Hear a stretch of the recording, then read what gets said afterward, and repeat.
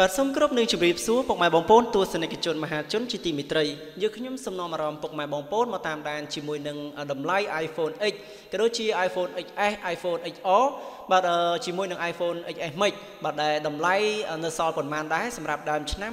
2019នេះដើម្បីដឹងអំពីតម្លៃទូរស័ព្ទដៃម៉ាក iPhone ស៊េរីទំនើបចុងក្រោយអឺ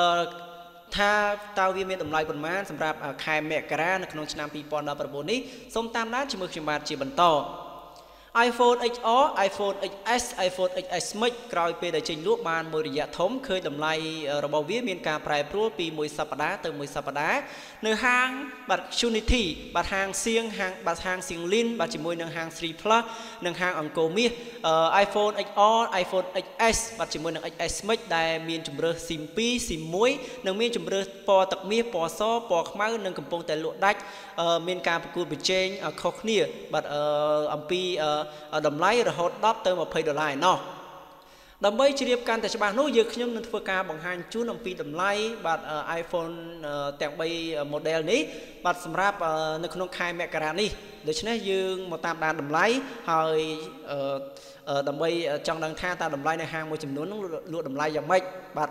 ពុកម៉ែបងប្អូនដែលមានតម្រូវការចង់បាននិងចង់ដូរទូរស័ព្ទដៃសូមតាមដានដូចតទៅ តម្លៃរបស់ iPhone XS Max បាត់ SIM 2 iPhone XS Max ទំហំ 64G មានតម្លៃខ្ទង់1160ដុល្លារហើយចំពោះ iPhone XS Max ទំហំ256បាទ 256GB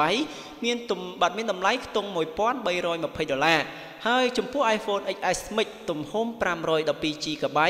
មានតម្លៃបាទ1480ដុល្លារ បាទចំពោះ iPhone XS Max SIM 1បាទ SIM 1គឺមានតម្លៃបាទ 64G មានតម្លៃ1070ដុល្លារ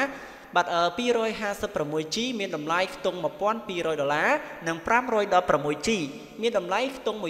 1360ដុល្លារចំពោះ iPhone XS បាទ SIM 1អឺទំហំ 64G មានតម្លៃ1040ដុល្លារ បាទអឺ 256G មានតម្លៃខ្ទង់1200ដុល្លារនិង 512G បាទ 512GB មានតម្លៃខ្ទង់1320ដុល្លារអឺ iPhone XR បាទ iPhone XR SIM 2 បាទ iPhone XR SIM 2បាទទំហំ 64G តម្លៃ810ដុល្លារ iPhone XR ទំហំ 128GB មានមានតម្លៃគឺ850ដុល្លារនិង 256G មានតម្លៃខ្ទង់910ដុល្លារបាទចំពោះតម្លៃធានាពីក្រុមហ៊ុនផ្លូវការពុំមានការប្រែប្រួលនៅឡើយបាទអញ្ចឹងពុកម៉ែបងប្អូនបានដឹងអំពីតម្លៃទូរស័ព្ទដៃម៉ាក iPhone ដែលស៊េរីចុងក្រោយបាទតម្លៃរបស់វាស្ទើរតែជាង1000ដុល្លារទាំងអស់បាទ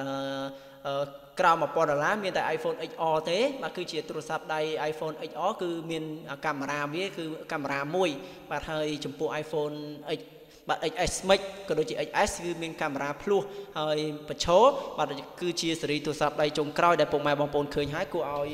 ចង់បានអញ្ចឹងតម្លៃរបស់វាគឺបើទោះបីជាធ្លាក់ក៏ពិតមែនប៉ុន្តែបាទប៉ុន្តែគឺអឺ សុទ្ធតែ1000ដុល្លារជាងបាទមិនក្រោម1000ដុល្លារទេអញ្ចឹងពុកម៉ែបងប្អូនដែលចង់ដូរទូរស័ព្ទដៃគឺមានការថែមលុយច្រើនហើយបាទដោយសារតែទូរស័ព្ទដៃស៊េរី iPhone នេះគឺតម្លៃរបស់វាគឺថ្លៃកប់ពពកបាទនៅក្នុងស្រុកខ្មែរយើង